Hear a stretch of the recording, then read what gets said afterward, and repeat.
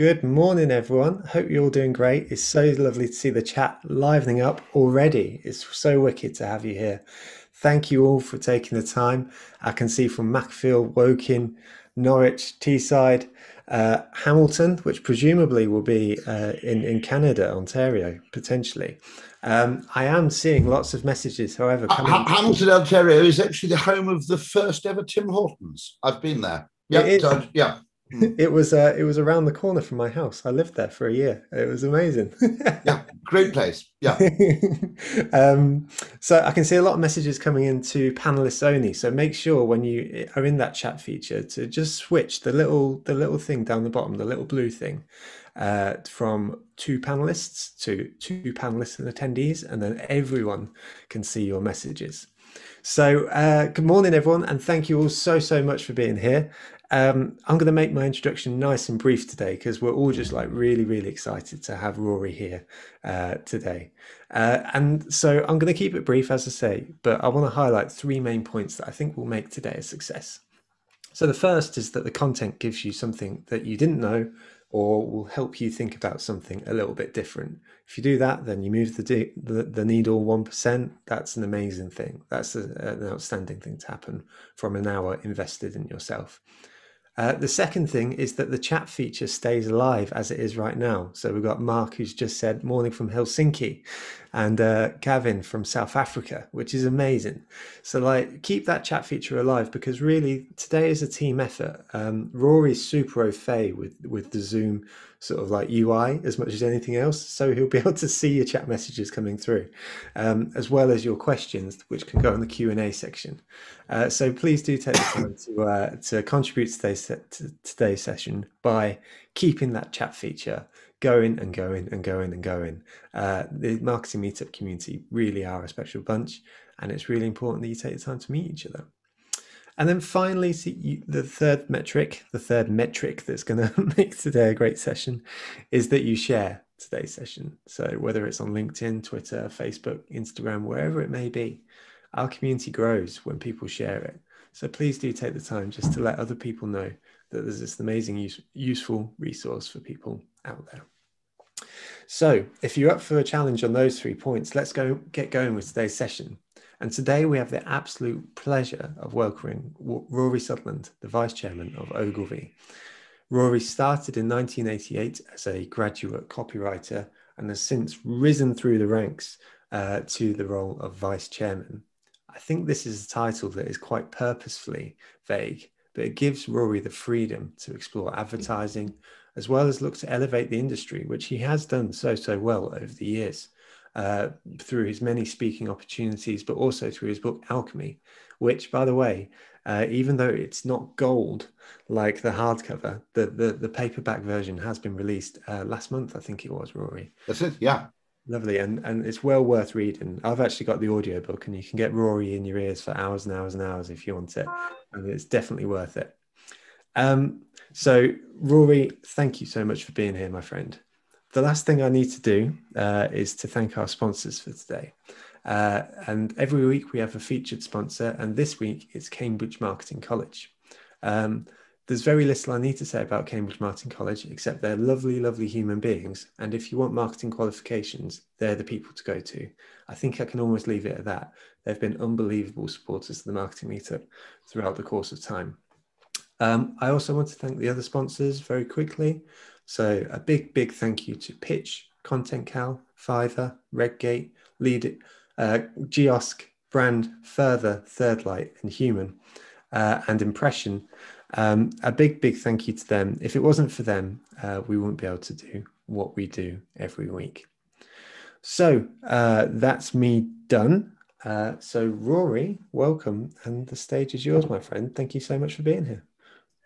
Absolute joy. Thank you. Thank you very much indeed. Um, so I'll start just by saying the reason I created a behavioral science practice uh, within Ogilvy uh, was really for two reasons. I was just going to explain it very simply.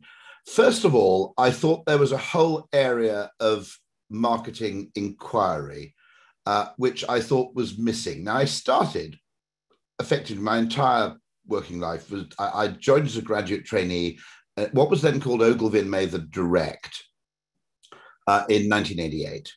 And the ultimate boss of Ogilvy and Mather Direct then in, in the UK was the great Drayton Bird. Now, I don't know if he's ever been on the show, but if he hasn't, you should emphatically invite him on because I think he's my kind of Svengali and still is. He's one of the sort of five people who's been a huge influence on my life. And what was fabulous about direct marketing and still is, and this is why David Ogilvy always said that any copywriter should spend four years in direct marketing before they start working in general advertising, is you find out what works. And generally, not necessarily intentionally, sometimes it's accidental, and I'll come to this later. Quite a lot of progress is, in fact, accidental. I mean, the whole of evolution is kind of accidental. There's no plan, okay? It's simply a feedback mechanism that works. You discover things accidentally or intentionally, uh, which are spectacularly valuable, but which are also quite often slightly, at first glance, slightly nonsensical or unexpected. And probably the deciding thing that got me interested in behavioral economics and behavioral science was a very strange thing that happened quite early in my working life. I suppose it would have been about 1990, 91, where we were selling products for BT, which is, you probably remember, um, they were called star services. They still exist, in fact. They're now called network services. And they're things like the wake up call on your phone. They use the star or the hash keys typically on a, on a touch tone on touchtone landline. And it might be call diversion, call waiting, which is still obviously something you're familiar with, um, uh, three way calling or reminder calls, things like that. And you could buy the right to use those for about, it was something like, I think it was about, you know, a couple of pounds a month, typically. It might have been 199 a month back in 1990. And the way we used to do this, because it was 1990, was we used to write typically to the customers who had larger phone bills. And um, uh, by which, by the way, there is a separate story I can tell you, which is um, uh, top res, in other words, BT's top residential customers, um, uh, were uh, the category we chose, and it was people who back then had a quarterly phone bill, uh, you know, around about a hundred pounds or more. It was, you know, significantly higher than the average. And if you've ever heard a rumor in direct marketing that a letter went out to a certain number of people addressed "Dear Rich Bastard," uh, this is actually true. Uh, I can I can confess now after 30 years, which is that a company that did the lasering for us needed a default salutation. And typically, the default salutation, this is old direct marketing law, you'd put dear customer or dear reader um, or, uh, you know, dear sir or madam if you were being particularly formal. But it was the salutation you used if you didn't know someone's title. And so you did, you know, you know, back then in 1990, you didn't just say dear Rory. And so if you didn't know whether I was Mr., Mrs., or Ms., you put the default salutation. And some guy at the lasering company didn't know what the default salutation was, so put in as a placeholder because these were wealthier customers, dear rich bastard. and in the end, about 25 of them went out. Um, and um, we had to set up a special division to phone them up and kind of apologize.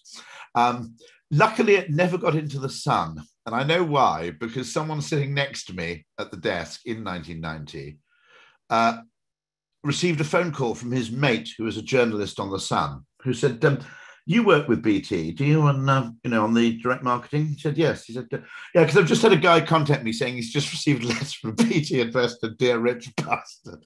And um, he said, "Since it's you, I won't put it in the paper."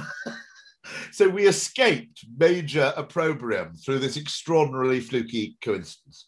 But I partly tell that story because it shows how much luck and weird randomness uh, plays a role in life. But anyway, one of the clients, we used to send letters, and the letters inviting people to actually sign up to, um, uh, let's say, call, call waiting, okay, uh, would have an 0800 number on the letter, and then the bottom of the letter would just have a little pre-lasered form with their name and address or and their customer account number already filled in, and they could tick a box saying, "Yes, I'd like to uh, take up BT call diversion or call waiting, and they'd put it in a prepaid envelope and then post it back. And typically, more people used to post their replies than used to phone up. And Uh, what happened actually was the client was slightly nuts, to be absolutely honest, and he had he took against the fact that every time we received a postal response, we were giving money to the post office, which was of course recently separated from BT, the telephone company, and seen by them as a competitor. I don't think anybody thinks of the telephone and the post as competitors, but back in 1990, you sort of did see. And he said, Well, we're trying to inculcate a phone culture in the UK, and I don't understand why we're giving all this money to the post office every month whenever we do a mailing. So um, I just want to have the phone number and no, no postal response. And we said, which was the responsible thing, well, I think we should test this before we do it. And so, funnily enough, we did quite an elaborate test where we had three cells, 50,000 people chosen at random. Because direct marketing is basically social science experiments or behavioral economics experiments performed at someone else's expense at enormous scale. You know, we never really realized this. And strangely, behavioral economists didn't really realize this. I don't think people in behavioral science ever thought, well, before we do our experiments with 200 Princeton students, why don't we go and see what the direct marketing industry has to tell us about this stuff? But anyway, we were two industries who were two organizations and lines of inquiry who were completely unaware of each other's existence back then. So, anyway, 50,000 people got post only, 50,000 people got phone only, and 50,000 people got a choice of two. You could phone or you could post. And fascinatingly, um, uh, you know, the results came in, and I wish I had the very exact results, but I can remember them to within about 0.1 of a percent typically, um, uh, what happened was when you offered people this product and the price was exactly the same, the product description was exactly the same, nothing else was different uh, apart from the mode of response. Phone only uh, had a response rate of about 2%. Uh, post only had a response rate of, I think this is right, of 6%. And when you offered people the choice, the response rate was near as damn it 8%. And we looked at this and we said, well, first of all, we don't think it's a good idea making it phone only because you're throwing away, uh, you know, the great majority of your potential respondents. But we had this even weirder finding, which is that the biggest determinant of whether you bought the product wasn't what it was or how much it cost, it was how you could order it, the mode of response. And my only suggestion when I looked at the data is, well, next time we do a mailing, we ought to offer fax response because there wasn't any internet back then. We ought to offer fax response because we'll probably get another half a percent that way. And to an economist, these figures are completely baffling. You see, okay, economists aren't completely stupid. They understand there are things called transaction costs. And if you have a relative preference for using the phone or using the post, you know, there will be a certain amount of friction added. But this fact that giving people a choice basically, you know, the, the mode of response is the biggest determinant on whether you reply is really, really interesting. And we have very, we still don't fully know why it is. Is it because effectively, one theory is that by giving people a choice, instead of thinking, do I want this product or not, they start thinking, shall I pick up the phone or shall I pick up a pen? And it changes their mental state from thinking about how to reply rather than thinking about um, uh, how to, um, uh, you know, whether to buy the product or not. Another response is simply that um, the, the actual hassle required in the response according to the moment is an extraordinarily strong determinant of whether people reply. But I, I, lots of people have been saying, you know, I, I, really, really miss um, direct marketing. And I agree. And one of the things I've noticed, by the way, is that the central lesson from that, which is that give people a choice of response channels in the mail order industry, one of the lessons is, you, you know, you allow people to order in, in as many ways as they possibly can and you put a phone number on every single page you know. In other words you give people as many opportunities as is feasible for them to get in touch with you and enact and buy. And one thing that does worry me by the way is we've now basically assumed that everything's going to happen on the internet. And that bothers me quite a lot. And it's partly driven just by cost savings and it's partly driven by just a, an idea that that's where the future's headed and it worries me quite a bit because for example, post pandemic, we're going to see things like telemedicine becoming more and more common. And the way I would always propose doing this is that if if you can save a lot of money by allowing people to see their GP over Zoom for routine inquiries, okay, you should actually compensate and make some other GP's visits 10 minutes longer or more or you know if if for example a middle-aged male who hasn't been males go to the doctor much more reluctantly than females do in general okay? I'm not that's not a universal rule. Um, if he goes to the doctor for the first time in six years you should probably have 10 minutes to spare for an extra checkup okay? Or just asking a few probing questions. And the trouble is that the finance people and the procurement people get involved and you end up doing everything the cheaper way and, th- and then banking the money instead of saying actually the way customer service should have gone with the internet the way customer service should have gone if you care about a brand and a reputation and you care about your customers long-term satisfaction and lifetime value credit card companies should have said that's great okay uh, we don't have to pay people a salary to answer banal questions like what's my balance? Okay? We don't have to deal with a phone call every time someone wants to query a bill or look at a you know look at a statement. But equally we shouldn't have taken all those money as savings because we should have said well what that means is that the questions we're going to get on the phone are now going to be more complicated and we should actually invest more in having more expert more experienced people answering the phone calls now, I'm not suggesting you shouldn't save money, but the extent to which shifting things towards digital channels has been often done exclusively to save money without asking what is the correct trade off, what's the correct calibration between human and technical and technological modes of interaction strikes me as a real mistake. And I, I, I can see it happening in medicine just as it happened in you know credit card um, customer service that the finance function takes over. Now, the finance function has a kind of, along with procurement, has a kind of sacred position in business because basically it has the right of veto over everything that costs money. And as a result, businesses tend to give a right a right of veto to the finance function, um, which is, when, when you think about it, the most risk averse part of a business. And the problem with people with organizations like the finance function and procurement, which we haven't noticed, okay, is if you work in finance, you can claim all the credit for cost savings, but you never get blamed for missed opportunities. And so finance and procurement are actually slightly dodgily asymmetric decision making entities because you can kill things you can take the short term credit for the short term cost saving that you've now uh, obtained through the cost saving. But when six months, 18 months down the line, things start going wrong, you start losing customers because the people dealing with the call center queries aren't as good or because no one's answering the phone. It isn't finance who gets blamed for it. And so I think we've got to be very cautious about this because we give extraordinary power to anybody who has. And, and by the way, with that group of people, I'd include management consultants. We've given this group of people the power to go in, to reshape things in a way that saves money in the short term, to take the credit exclusively for those savings, to dump the problems on other departments. And then when things go wrong as a result of those false economies, those people are no longer in the frame. So, what my friend Nassim Taleb would say is we've created a finance department in a way with no skin in the game. And so, one of the things that finance tends to kill is testing. So, I'll get back to my original point. I promise I, I will maintain this on a, on a reasonable theme. Okay.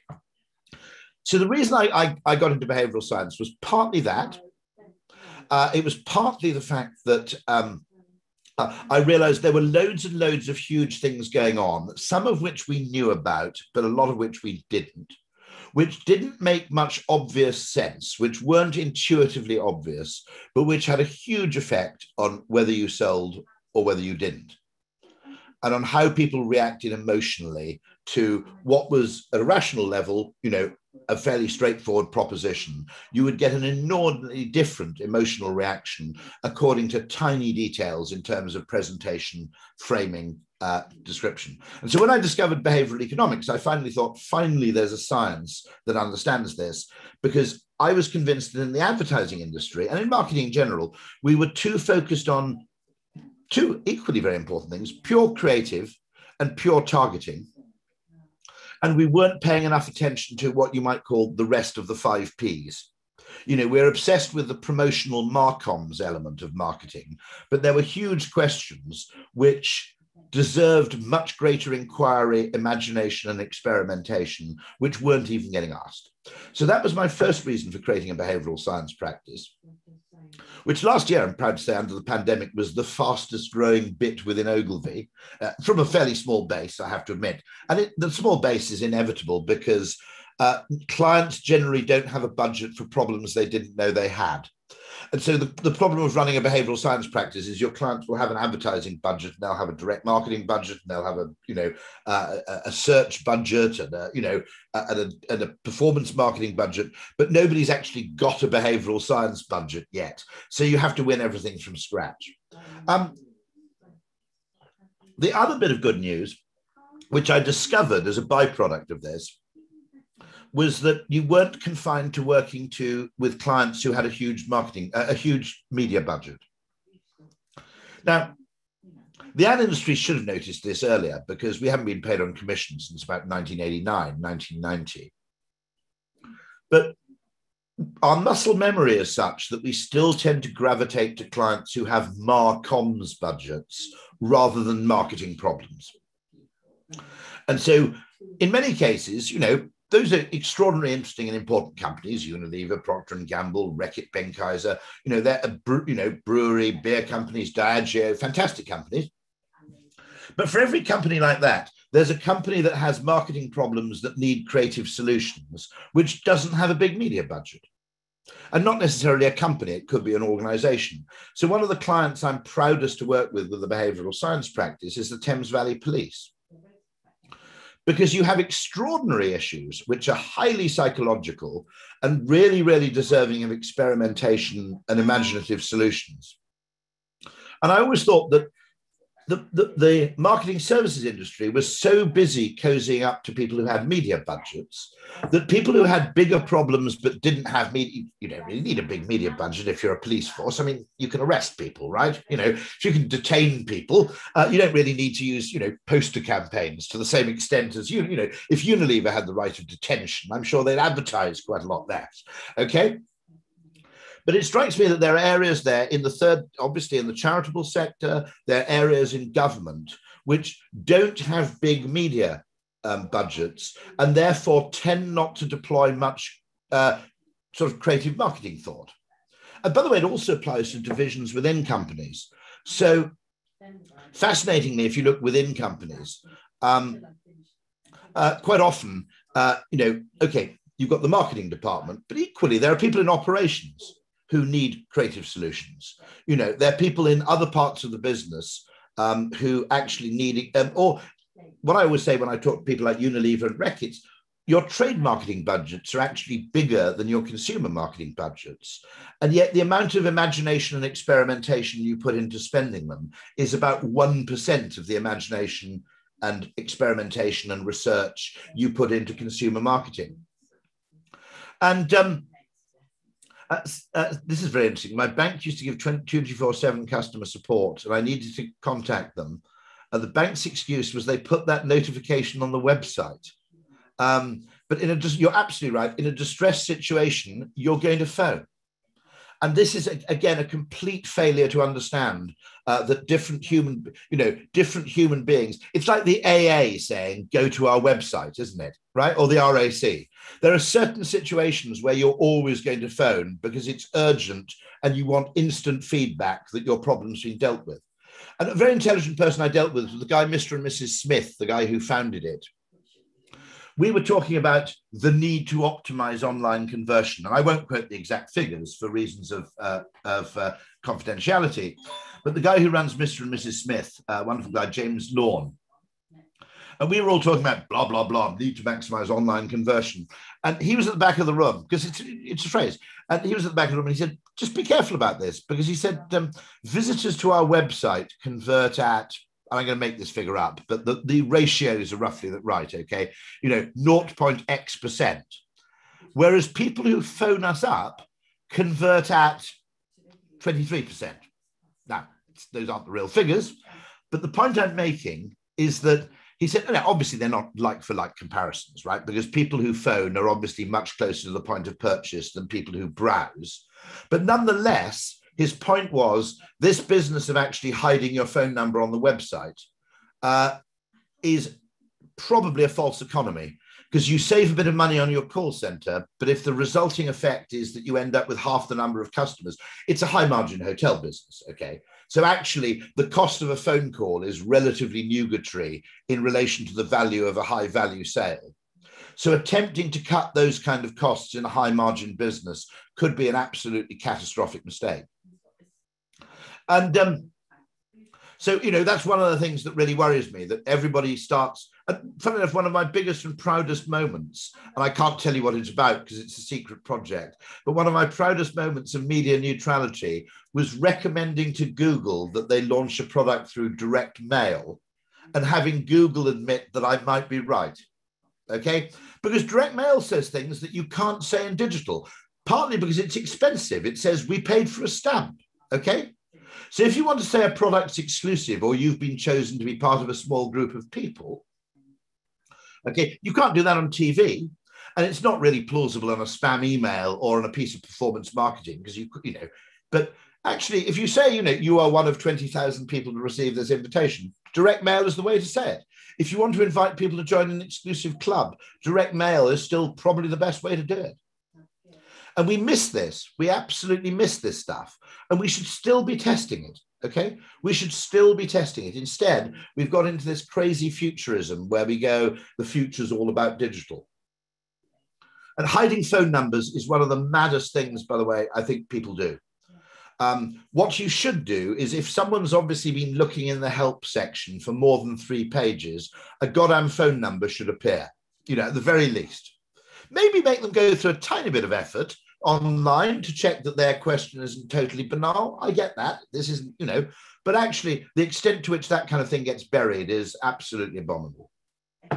So that's the second big benefit with the behavioral science practice is you can work with organizations which or parts of organizations which don't necessarily have a big amount of money to spend on media but still need creative problem solving with human insight involved and um, by the way, this assumption thing that we make where things become a kind of collective insanity. Uh, if you go to the Nudgestock talks, it's on the Ogilvy Consulting YouTube site. There's a wonderful talk there by a guy called Guru Madhavan, who's actually a complexity systems engineer in Washington, D.C. And he's a kind of, you know, uber scientist. And he said the problem that happens with all these models is, and it's the four T's. Always bear this in mind, okay? You develop a model or a theory, like the future is all about the internet, okay, is one example. Or, for example, um, uh, many economic models, you know, the, the model of the labor market or the model of the property market, okay, or whatever. And he said they start out as a toy, then they become a theory, then they become a tradition, and then they become a trap. And eventually they start off was this would be a useful aid to thinking if we pretended this. And then they start becoming a theory. Our theory is that this is true because of this. And then they become a tradition, which is the phrase gets used in business, phrases like economies of scale, okay, get used. And they just become universal truths, which, because there's a phrase for it, you don't need to say, well, are you sure there's an economy of scale in this case? Because people just go economies of scale and words yes that's right. You know and there are loads of business mergers that fail just because everybody believes in business that if you make something bigger you somehow make it more efficient. And they also believe of course that if you make something more efficient you'll make it more effective. And neither of those two things is a safe assumption. And then then as i said they go from being a tradition and they become a trap which is it's impossible to take the opposite point of view. Okay in other words, the thing becomes so widely believed that the future's the internet that if you suggest direct mail in a meeting, people will laugh at you. And that's when the thing's gone from being a tradition to being a trap. And I actually, I think one of the important things with behavioral science is spotting behavioral biases in ourselves, which is to spot the moments where once mental models that were used for convenience started becoming theories, traditions, and traps. And I think the reason for that, I, I, actually really challenge things quite a lot. So, one of the biggest ones I've uh, I've happily challenged uh, is the idea that futurism is all about living in big cities. Okay, so there's this assumption. If you see any model about the future, it talks about smart cities, never talks about smart market towns or smart hamlets. It assumes we're all going to be living in high density, high rise accommodation in global megacities. Okay. Um, and um, and I said, hold on a second. Okay. You know, particularly after the Zoom revolution, we're probably going to see a bit of an exodus. I don't think you'll see an exodus from Bristol, Newcastle, Cambridge much, maybe a bit. Okay. But the point about Bristol, Newcastle, Cambridge, or Hamilton for that matter, whether it's in Scotland or in Canada, is they're small enough that if you work in Hamilton or you work in um, Cambridge or whatever, you can be as rural or as urban as you like. Because you know you can live out in the countryside and commuting in, except in Cambridge, the most car-unfriendly city I've ever come across. Um, but you can basically commute in fairly easily from outside. It's not intolerable if you want to have a more rural existence. Whereas London is so big that you actually have to go about 30 miles from work before you start getting duck ponds. Okay.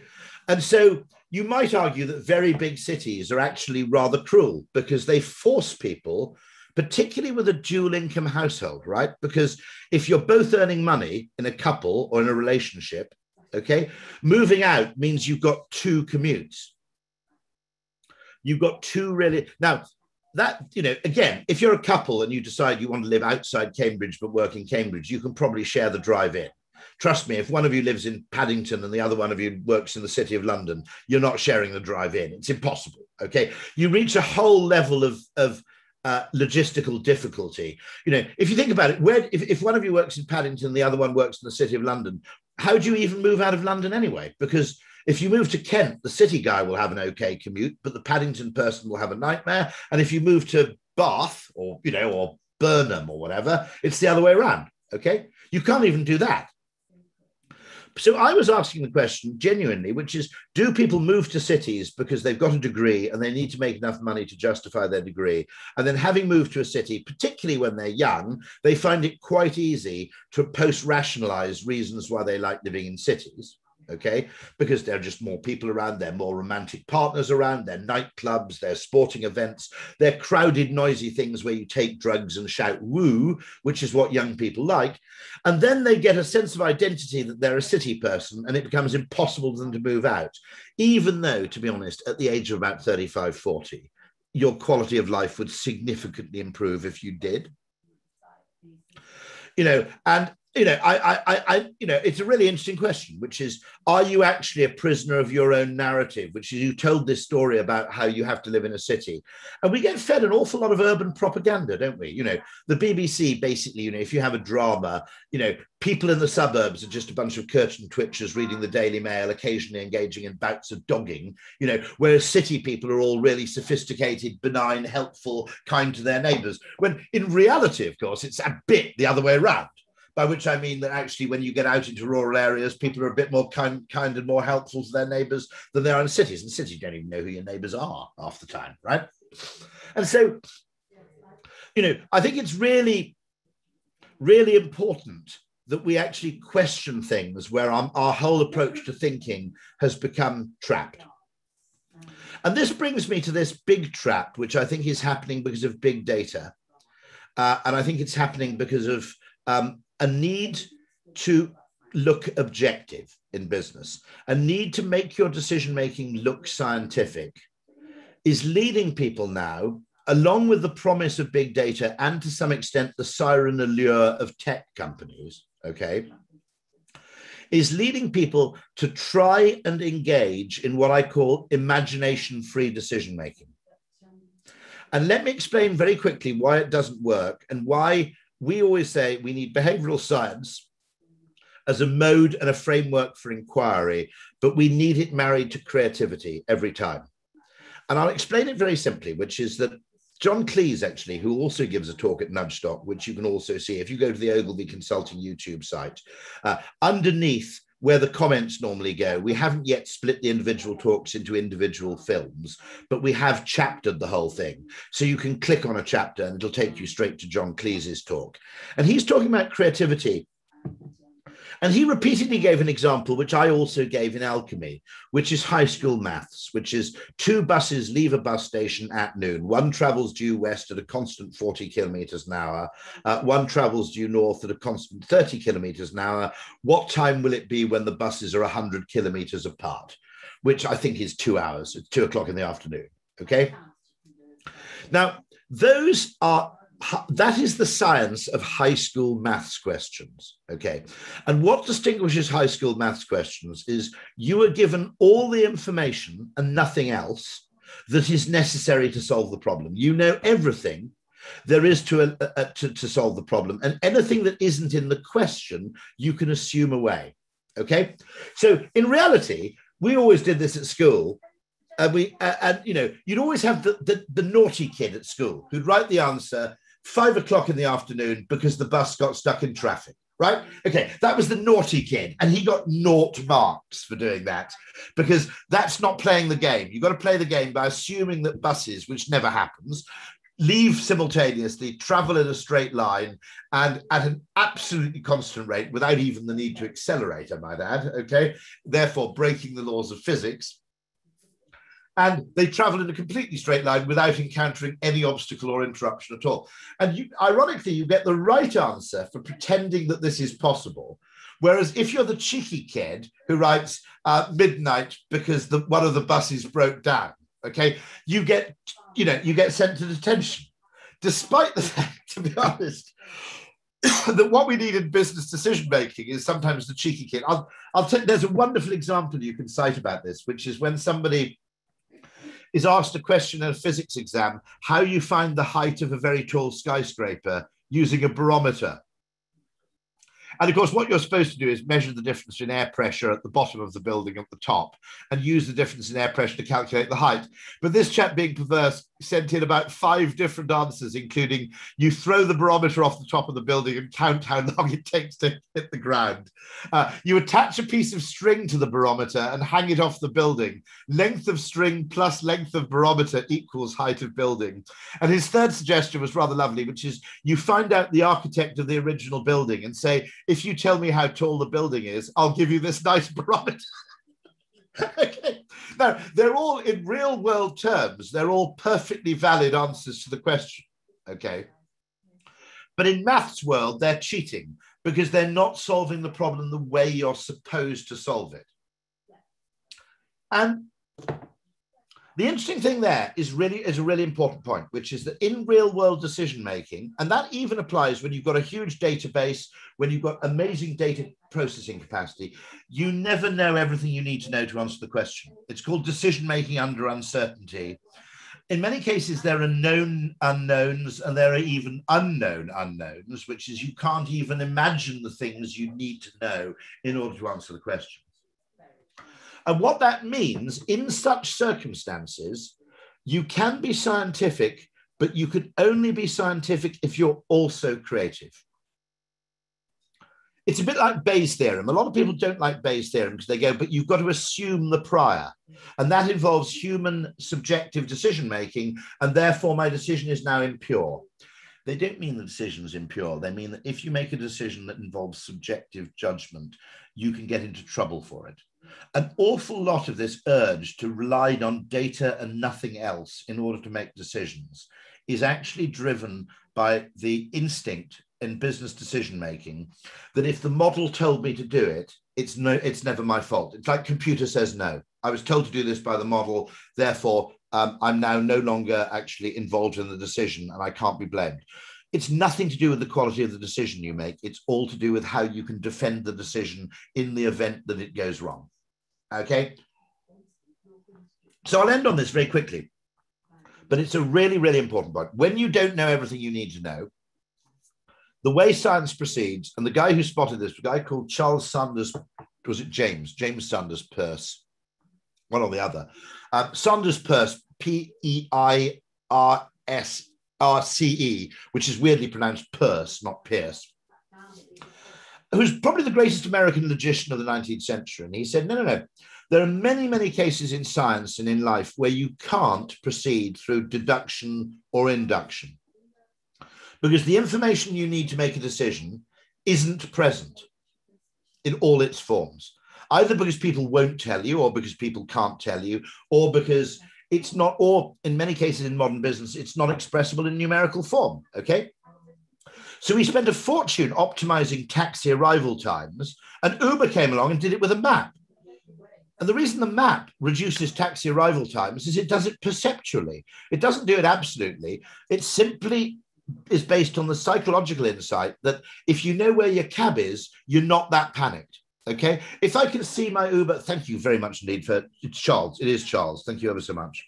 Um, so anyway, if you put a map there and I can see my car approaching, I'm no longer in a state of panic or anxiety. I'm no longer, maybe he's already been, maybe he's parked around the corner. Uh, what if he's not coming at all? Oh my God. Okay. Once you put that little cab on the map there, I'm not, I'm basically, oh, look, he's stuck at those traffic lights for a few minutes. Okay, I'll have another pint. Okay.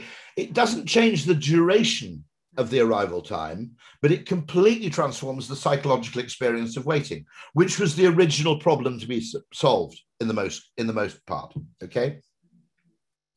Now, the importance of this stuff is that what Peirce said um, is that the in, in most scientific problems, and the classic cases would be penicillin and Darwin. Okay, you don't actually solve a problem through sequential logic you solve it through what's called abductive inference. Peirce called this abduction, which is a terrible word because it sounds like you've kidnapped a child for some pervy reason. Okay. But abductive inference is a much better reason. Okay.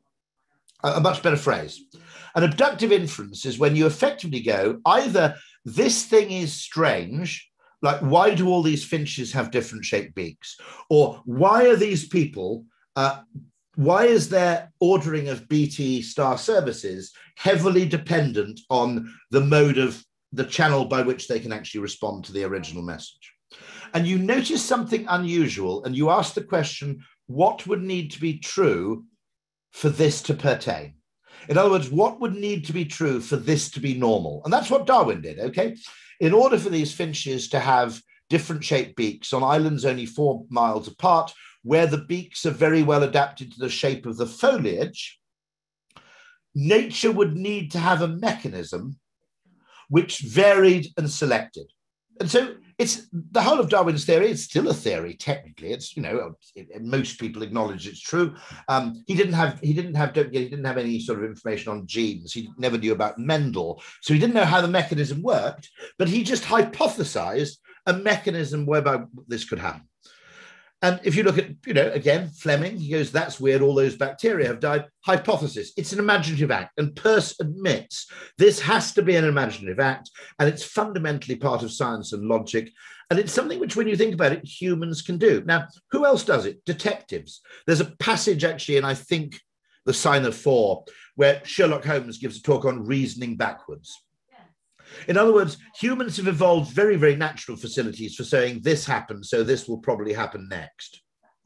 Humans aren't quite as good naturally at going, this happened, what must have had to happen first in order for this to happen?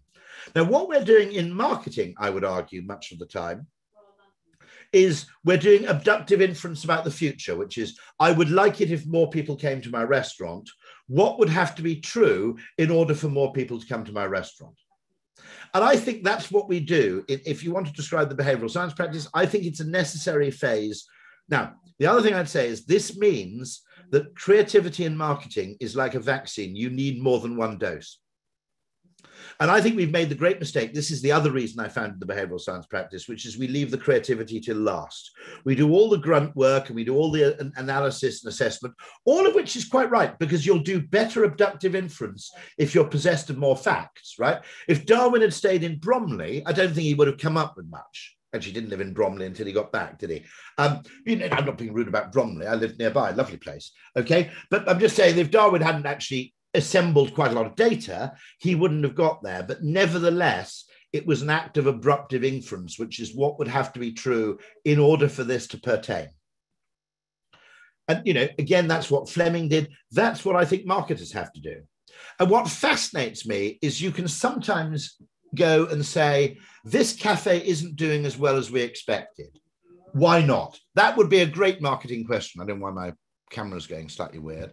What's it doing here? Come on. Anyway, um, but the interesting fact there, which fascinates me, is sometimes you go, this cafe isn't doing as well as it should. And this is exactly the case. Now I said, okay, let's look at why it is. Maybe your coffee's shit. You know, uh, maybe you've got horrible customer service staff.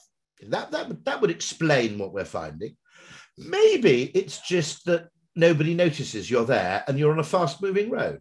Now, I went to one cafe and said, um, I think I've got one tip for you as a cafe.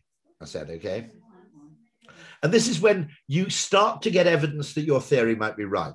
Okay, this is this is the thing that I love most of all, where you you you you abduct, abductively, inferentially, creatively hypothesize a reason, and you do a little test, or you get a little bit of evidence which further confirms it. And this is my favorite little story because what I love about this behavioral science gig is you don't just have to work for Unilever; you can give advice to a cafe. And the advice I gave to one cafe, which is on quite a busy road, but it's advice I give to all cafes, which is even if it's raining, leave your chairs and tables outside the building. Because from 200 yards away, um, we can see there's a cafe and we know it's open. It's one thing to know there's a cafe there, but in particular in Britain, when tea shops and cafes close all over the, you know, the closing times are all over the shop. If you can see they left their chairs and tables out, they're obviously open. Because if they weren't open, um, uh, they'd uh, have put locked them away to stop people nicking them. And I said the great thing about having tables and chairs on the pavement is it's basically a huge neon sign saying "cafe open," talking to everybody's unconscious within a 300 yard radius. Okay. And I partly discovered this because I went to Milan and I'm in Italy and I go, well, we're in Milan. So we'll look for a cafe. And I looked down all the streets and there weren't any tables and chairs. Okay, that's weird. There don't seem to be any restaurants in Milan. I wasn't expecting that. Now, in Milan, of course, it's northern Italy. They don't put tables and chairs out on the streets. And so I was looking down streets, going, no, nowhere to eat down there, nowhere to eat down there. It took me ages to realize that weirdly in Milan, you basically don't do that shit. That's what you do in Rome or you do in Naples. And so I was completely flummoxed by, you know, a change to the architectural environment and it was all based on unconscious stuff. Now, the best thing happened when I had this theory about leaving your tables and chairs out. One, the cafe next to me started doing it and started doing much, much better business.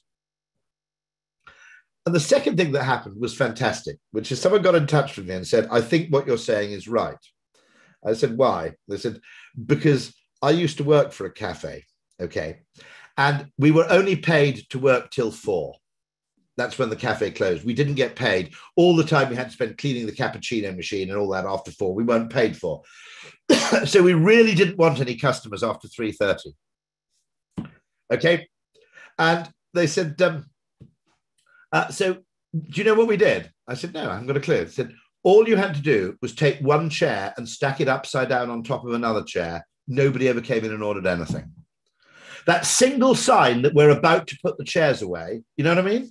Where they, where you put one chair and you either put it upside down on the table so you can clean underneath it, or you just put it upside down on another chair. They said at quarter to four, you just bang one or two chairs on top of each other. You leave everything else open. The boss couldn't give you a bollocking, right? Because you hadn't closed the cafe early. The cafe was still open if anybody came in, but nobody ever did.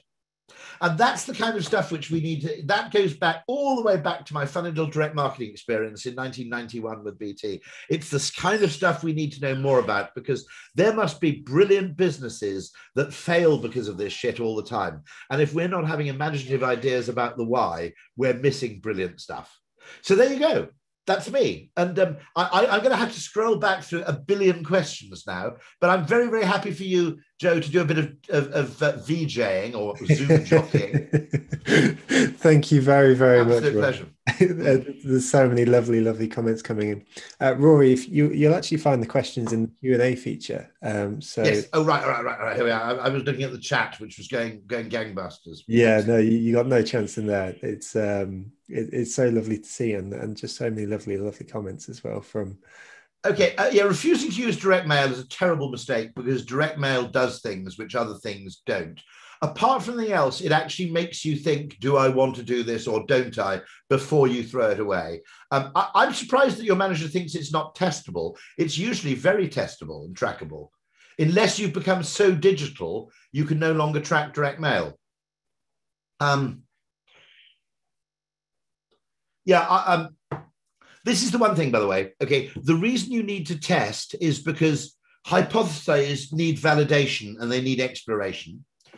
the only other bit of advice I give you is test really stupid things. So we did a, we did a series of five tests for Christian Aid Week where we did five changes to the envelope. Okay, one of them was totally logical, where you wouldn't even have needed. Uh, no one would have thought it needed testing. Okay, the other four were completely illogical, which we had to test in order to justify them.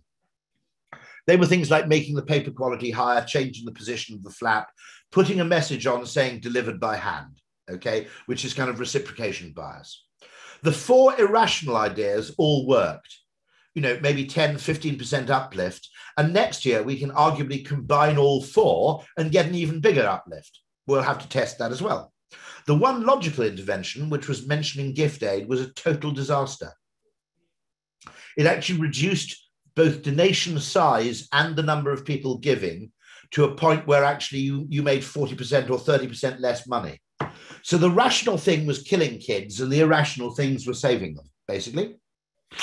And so if you want a Rory Sutherland kind of bit of advice, before you drop the price on a product that isn't selling, you should test putting the price up because it's less likely to happen, but it's a much more valuable discovery when it does.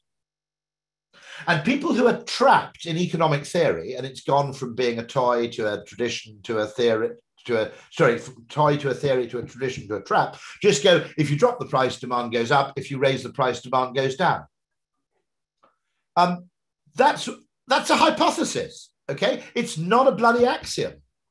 And yet we have people who are appearing to be, who are trying to look scientific. By, and the reason they're doing this is business people love reducing the number of possible variables. And so once you introduce psychology into the mix, it's got to become a subjective decision. And business people hate making subjective decisions because you can get blamed for them. And because they've all been through the British education system, as John Cleese says, which basically teaches you absolutely everything except how to be creative. It teaches you how to answer those bus station questions, but it doesn't have to. It doesn't teach you how to ask um, um, uh, the really perverse ask perverse questions. You know, you start off with the future is all about urbanization. I don't think it is. I mean, if you look at patterns of human movement over 2,000 years, there are huge periods, you know, the coming of the railways, the 1970s, etc., where there was massive migration out of cities into the suburbs and the countryside. Okay. And the most interesting thing that came to me was when a guy got in touch with me. I was thinking of this as purely a Western phenomenon. And this guy got in touch with me from Kenya, who runs this fantastic program in Kenya. And he said, We've got a disaster in Kenya because everybody's been taught you've got to move to the cities. But the biggest opportunities in Kenya are in agri-tech, right? You've got this fantastic potential for transforming agriculture and growing food. And instead, everybody's going, must move to a city. And so his great question to me is how do we actually reverse this? And you know, part of it's going to be, you know, actually, you know, Zoom. You create, you you use this new technology in conjunction with psychology. I mean, when you think about it, right?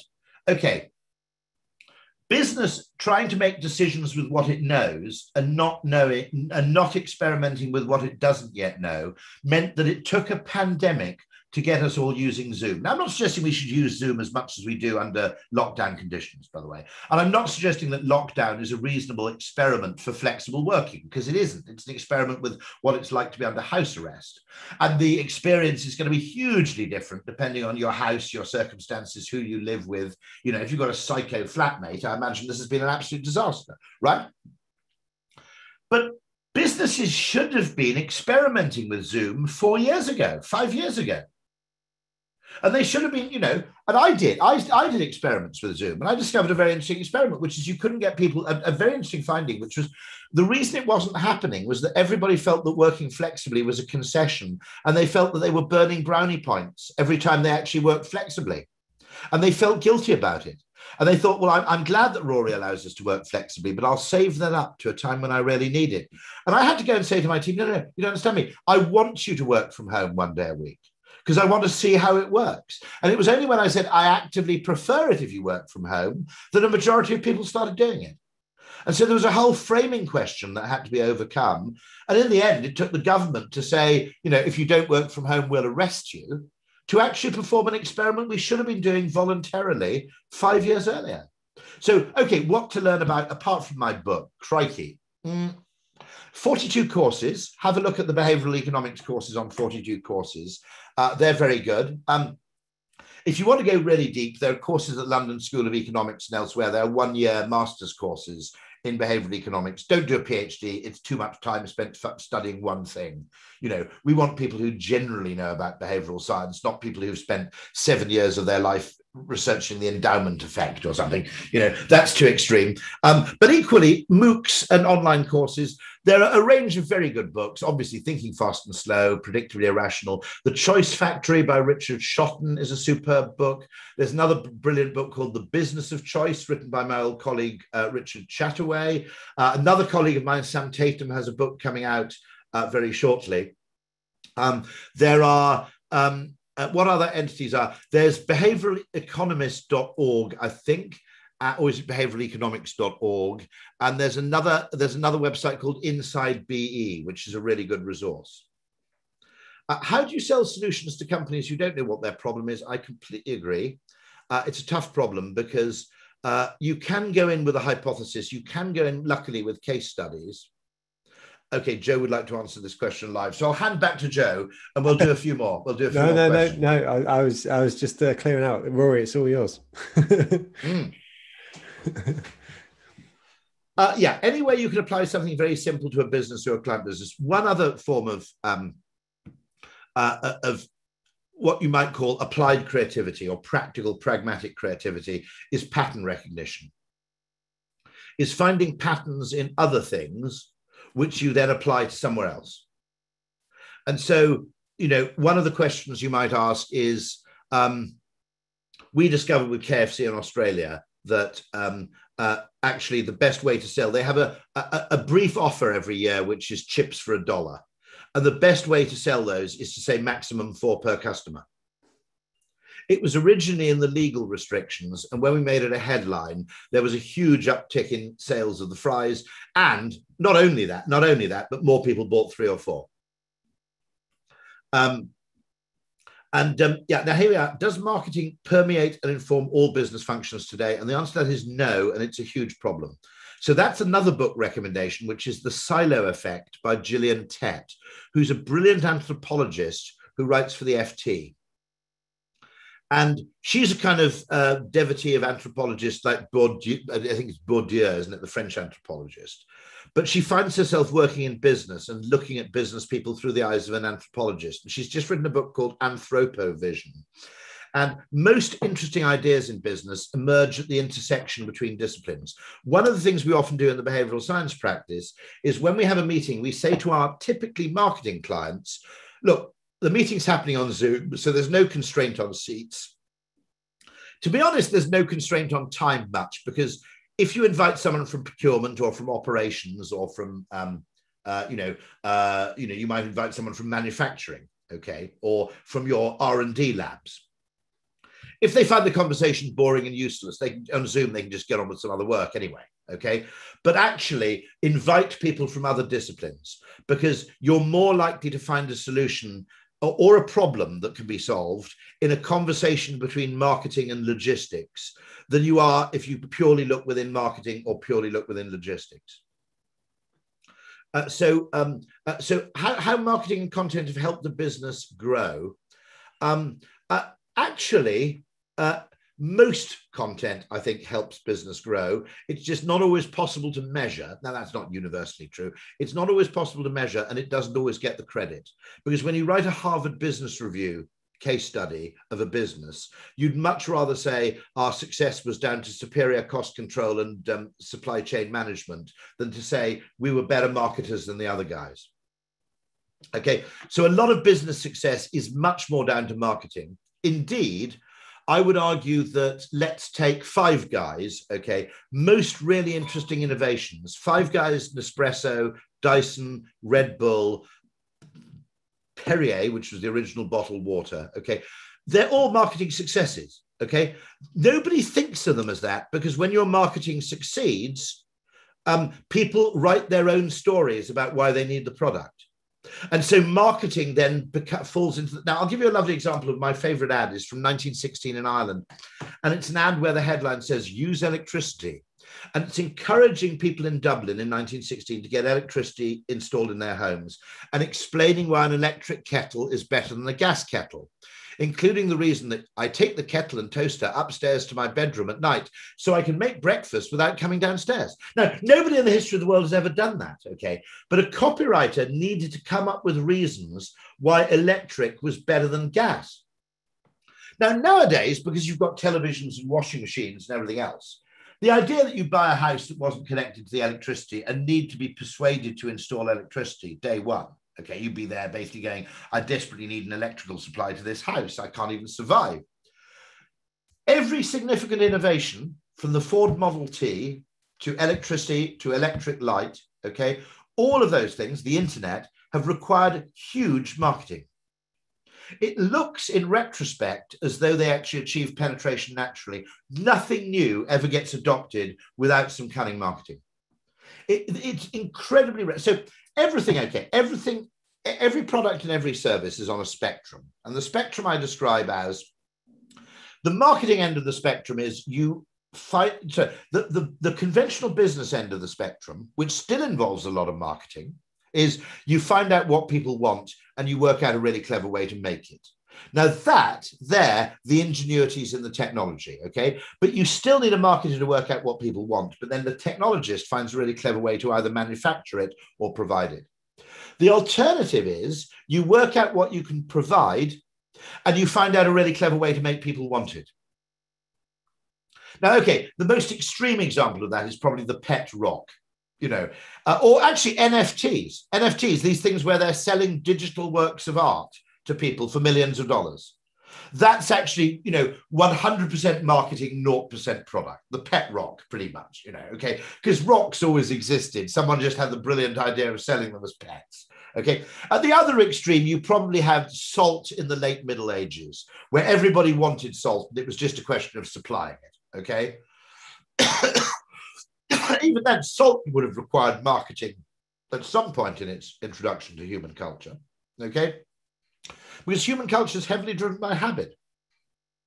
And people do what they did before and they do what everybody else does. So I think it's really important to understand. And by the way, I'll give you a lovely example of this where marketing hasn't been deployed and where I think it's a disaster. Okay. So some of the cleverest people in the world have developed solar panels. They made them more efficient, cheaper to manufacture. They made them lighter, easier to install. They actually work in countries like Britain. When I was a kid, you could have solar panels if you lived in Arizona. It was a total waste of time anywhere else you know, we were talking about putting them in the Sahara Desert. Now they actually work in the UK. It's actually worth having.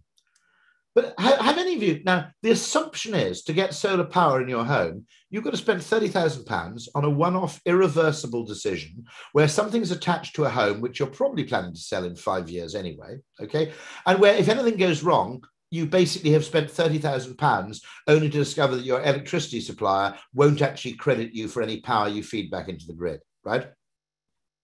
So there you have a case where total genius has been applied to the product itself, but total morons have tried to sell it. And actually, it's the same people. It never occurred because they looked at economics and they said, well, all we need to do is have panels that pay back. Okay. That, in other words, now nobody ever said if there's one decision a consumer hates making, it's a £30,000 upfront decision, one off payment irreversible, which might go disastrously wrong. That's like asking people to move their bank account, okay? People don't move their bank account not because it doesn't make sense, but because there's a 3% chance of a living disaster, right? Okay, that's why people don't tinker with those things. Now, what you need with solar panels is a marketer. You need them sold in John Lewis. You need them to cost a thousand pounds and you need it to be modular. And maybe you need to say, start off by charging a Tesla or start off by charging a Nissan Leaf. And then you can buy another panel and you can have a solar powered conservatory. Now, I've got these Philips Hue, you know, uh, Alexa, turn the study lights red. See if there's, yeah, go. Right, okay. I've got these Philips Hue lights in my home. Did I buy them all at once? Did I fuck? Right? Okay. If someone had come to me and said, okay, uh, hey, mate, I can actually install your whole home with internet connected color changing light bulbs. It'll only cost you a thousand pounds. I would have said, basically, swivel, mate. That's stupid. Right? I bought them two at a time, and eventually some lights blew. And I thought, actually, I'll put Hue lights in there. And then my daughter moved into a bedroom which didn't have a light switch, and I worked out it was cheaper to give her four Hue lights and a remote switch than to get an, an electrician up to install a, a switch in the wall. So she just controls her lights remotely, and so we don't. She doesn't have to shout downstairs and say, "Turn the lights off," because there's now a remote switch. That was cheaper than getting an electrician out. Okay.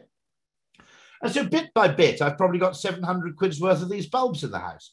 Would I have bought them all at once? Not a chance in hell. Alexa, turn the study lights white. So it's looking a bit of a brothel feel you probably don't want. Um, but the point I'm making is that uh, actually they still seem to be red, don't they? Oh, my wife's closed the door to the kitchen. Don't worry, I'll get it back to normal again soon. But this is the kind of thing where everything's marketing. Okay, everything that involves people changing their behavior, it's a marketing problem. There are a bunch of economists and engineers out there pretending it isn't. It always is. So I'll give you the classic example going to British Airways and saying, let's look at the train, uh, you know, let's look at flight punctuality. And I said, look, um, the first thing you've got to look at with flight punctuality, if you're interested in passenger satisfaction, isn't the punctuality. It's airport information.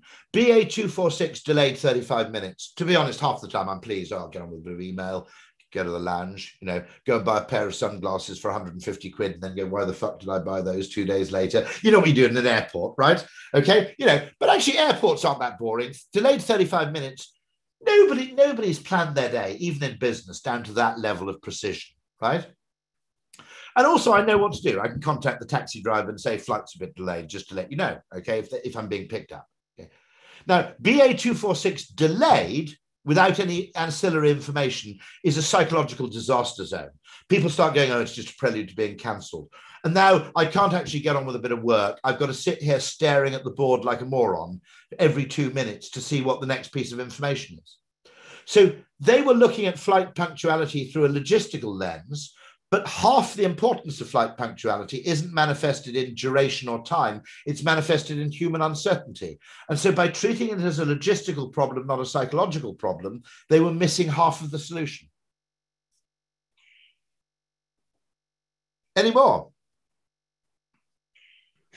There's there's a bunch in the in the Q and A, Rory. But how long do you want to go for? I mean, uh, well, I, I, can go for about another. I can go for another ten minutes. I think is that is that what what do we have scheduled? Because I've got I have got one meeting coming up. But Great. Uh, well, we, we had you in for an hour, but uh, I think people could listen to you all day long. So uh, well, let's let's give it another ten. That'd be nice. yeah, and we can always do a follow up. I'm totally happy to do a follow up Q and A only session.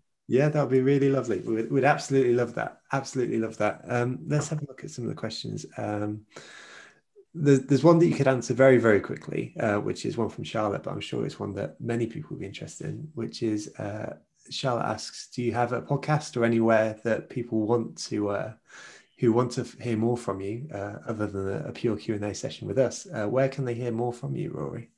Uh, if you Google on YouTube, if you look for Rory Sutherland on YouTube, you'll find tons of stuff, genuinely.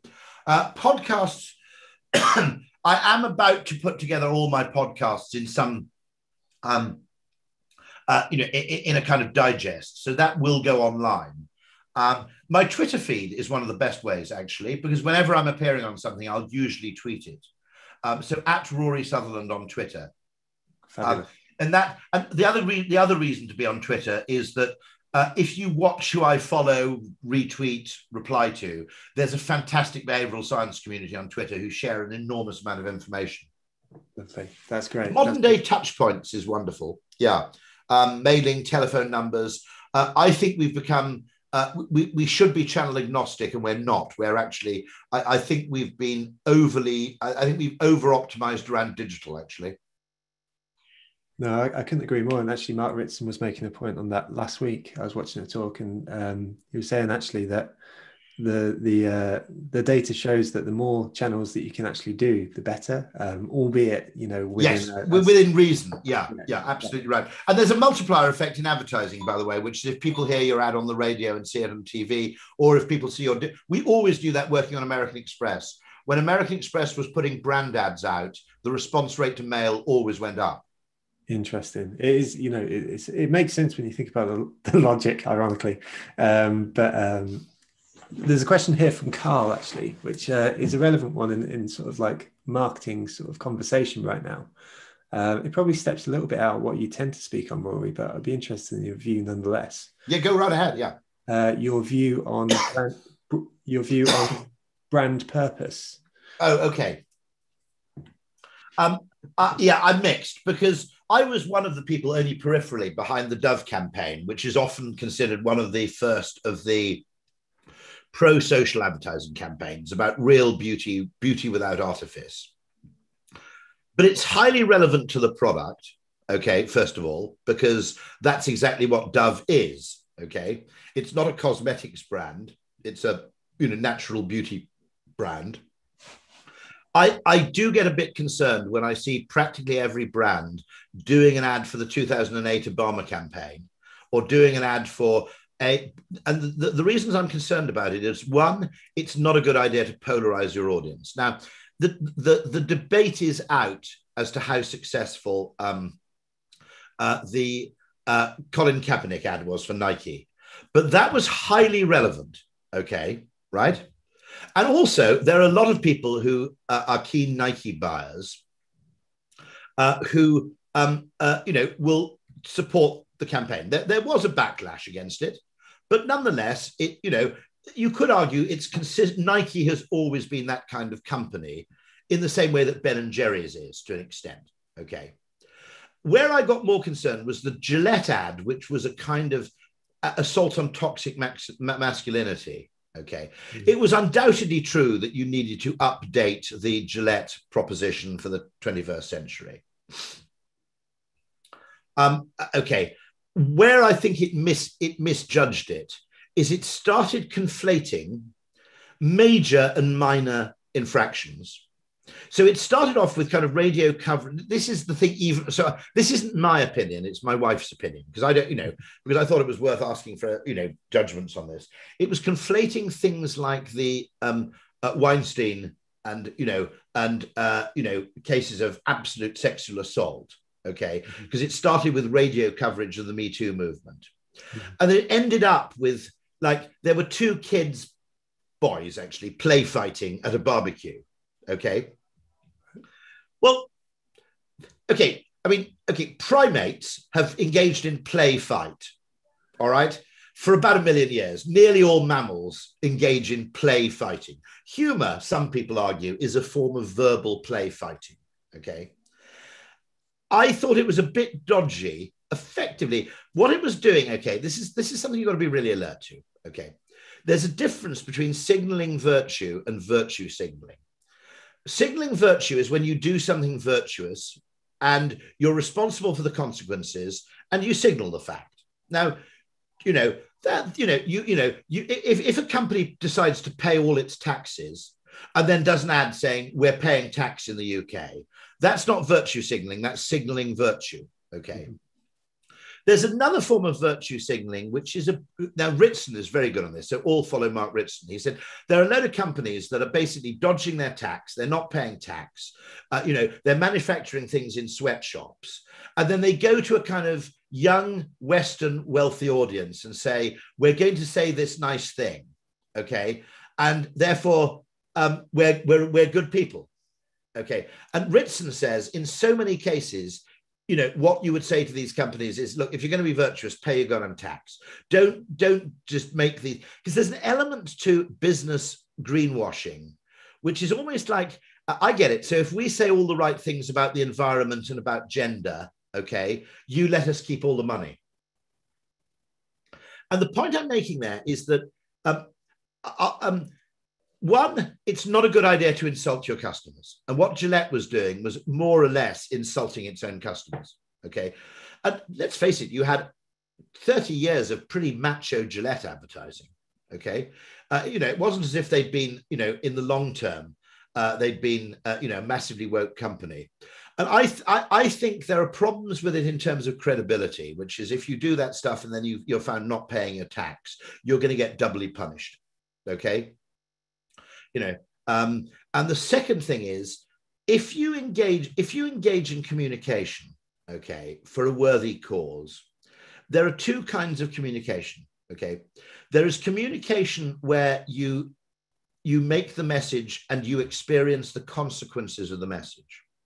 Now, generally speaking, okay, what bothered me a bit was white people saying defund the police, right? Now, were there many people of color saying defund the police? And the answer is actually not that many because Many people of color live in areas where you do need more protection. Now, a bunch of white people who live in the richest part of Portland, Oregon, saying defund the police is easy to say. It makes you look good, but you don't suffer the consequences. And generally, I think people signaling things where which is cheap talk, where you don't either have to pay for the message, nor do you have to suffer the consequences of what you propose. Okay um, I think gets gets uh, uh, uh, obtains a bad reaction in people. So I, am not Steve. Steve Harrison is very, very against the uh, the kind of virtue signaling tendency in advertising. I'm highly skeptical about it, which is not to say that you should never do it. If you've done something worthwhile, if you've decided to pay 100 million in tax voluntarily, I would argue it's a big marketing mistake not to make that fact known. Okay, but on the other hand, getting involved in highly polarized political discussions and taking an extreme position on them. Everything we know from Byron Sharp, everything we know from Mark Ritson is that brands grow through breadth of penetration, and breadth of penetration means breadth of acceptance. Okay. And so massively polarizing an audience to make a very unrepresentative group of advertising people who all live in me- mega cities and who all vote Democrat. Okay right? I, I doubt there's anybody in Ogilvy, New York, who's a self proclaimed Republican voter outside the post room, okay? Right now, we've got to remember that people who work in marketing are highly unrepresentative. They're, they're much bigger, they're much higher on openness. They tend to be higher on political liberalism than people in the mainstream market. Okay.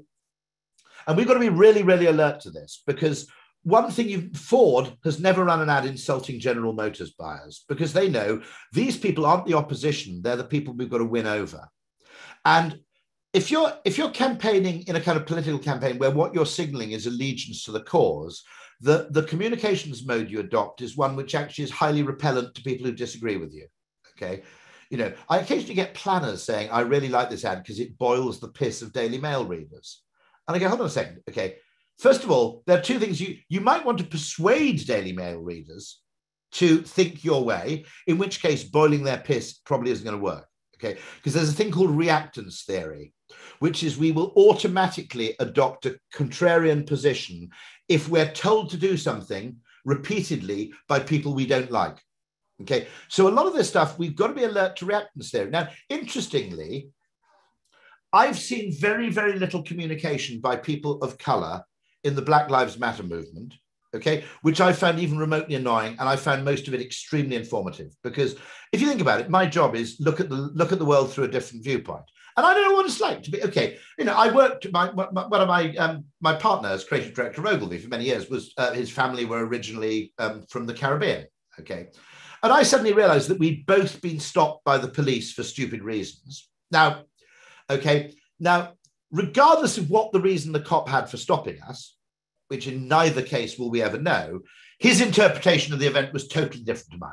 Okay, which is I'm basically a black guy in a nice car, and you've, you've stopped me, which may well have been the reason, by the way. Okay, and my my reason I'm a white guy in a nice car, and I go, this cop's a fucking idiot. You know, he claimed I wasn't wearing a seatbelt. I obviously was wearing a seat, and this this was a completely bizarre incident which happened. Okay, it happened to be twice actually in the same town. And um, the so I, you know, it's really, really important for every marketer to realize that depending on your context, depending on your circumstances, depending on your past experiences, the way you experience things are very different. Now, I don't think most people are, I don't think a significant number of people are nastily racist. Okay. And I think that I, I would make that statement in the UK in 2021.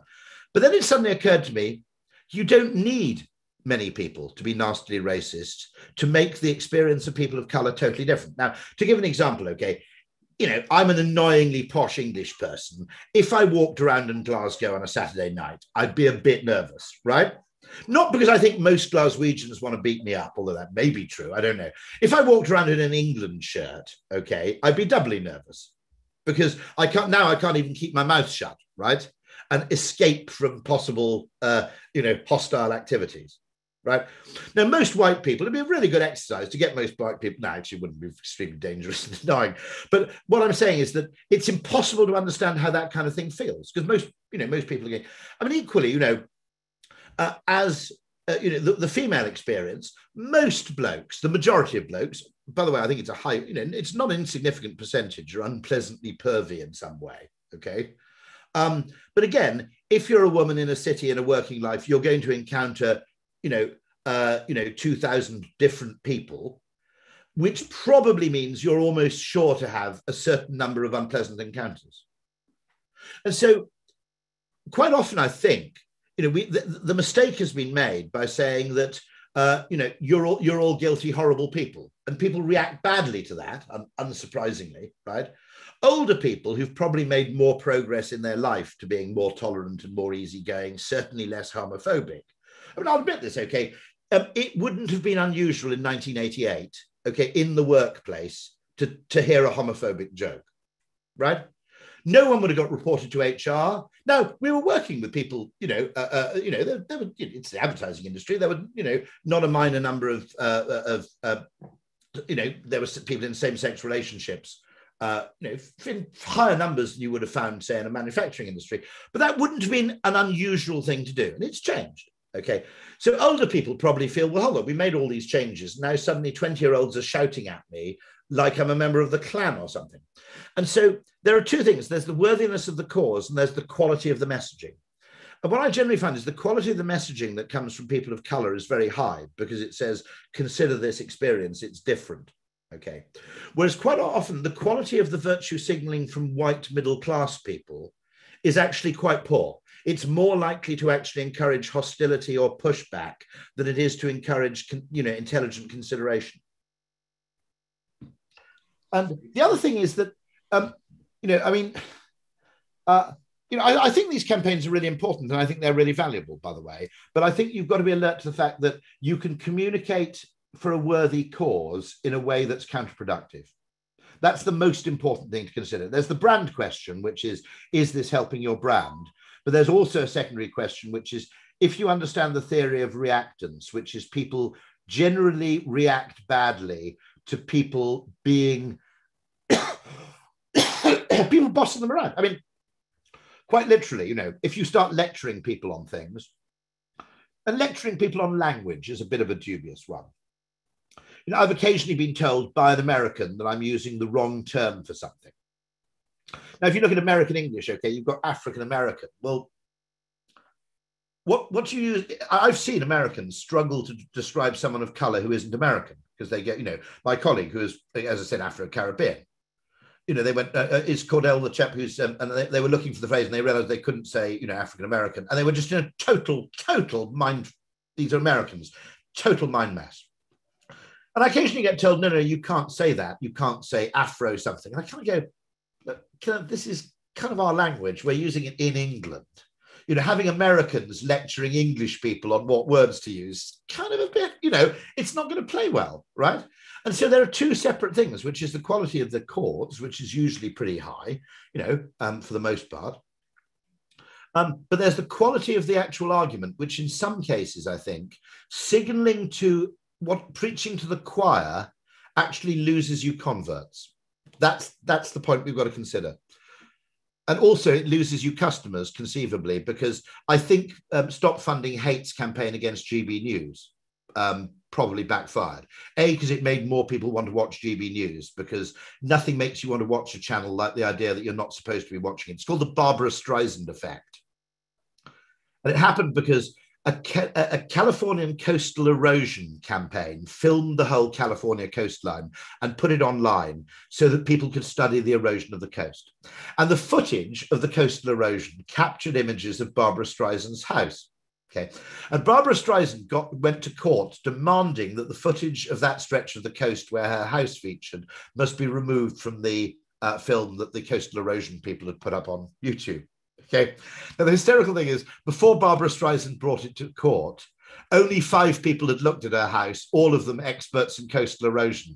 The second she tried to stop people watching it, 200,000 people all went to the exact website and looked at the aerial photos of Barbara Streisand's house. So the whole thing completely misfired. And I think the whole thing misfired with GB News because had they protested, by the way, after the channel had been up for three months, when they had some evidence of hatefulness, and to be honest, I've watched GB News. To be honest, it's LBC with pictures. You know, it has a range of different opinions, some of them left wing, some of them more right wing than usual.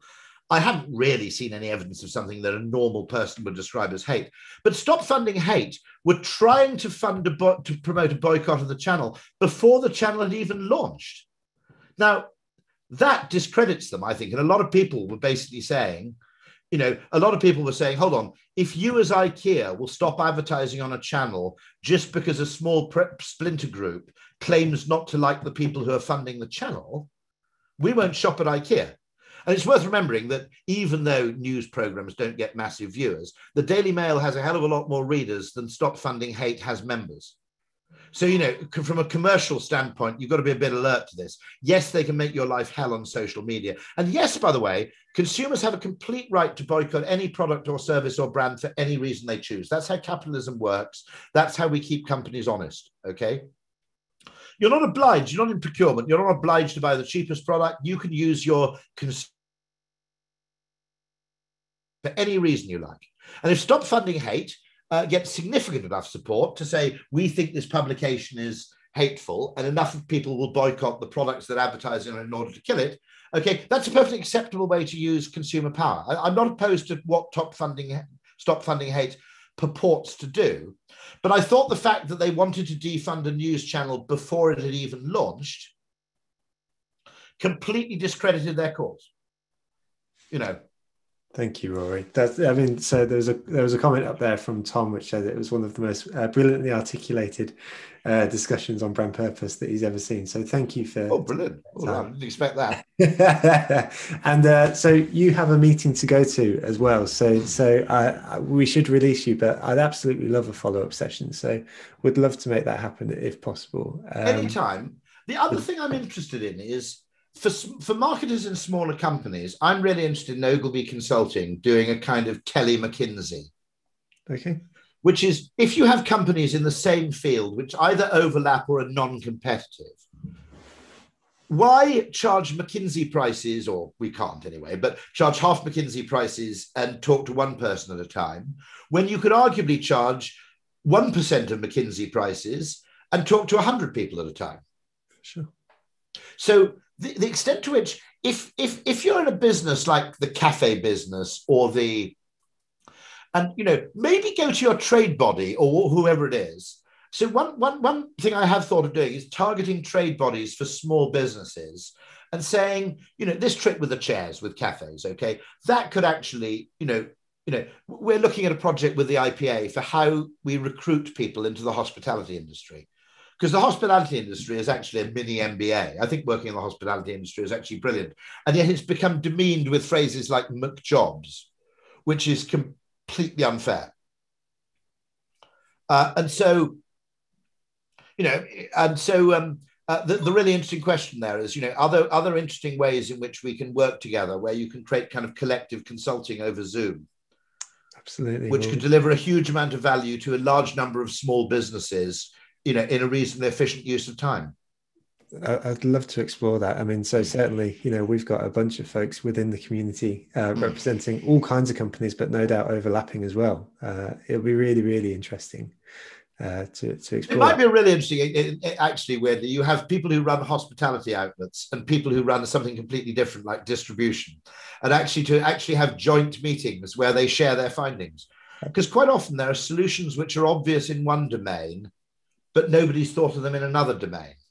For sure, I love it. Well, there's there's a, there's a bunch of comments coming in here. One from Charlotte saying, "I'm, I'm up for it." Maria's up for it. Philip is up for it. So we, we've got we've got people. So uh, let's explore it. Let's have a thought. That'd be fantastic. Thanks ever so much. Lovely. Thank you for taking time, and thank you everyone for always uh, a pleasure. Thank you, everybody.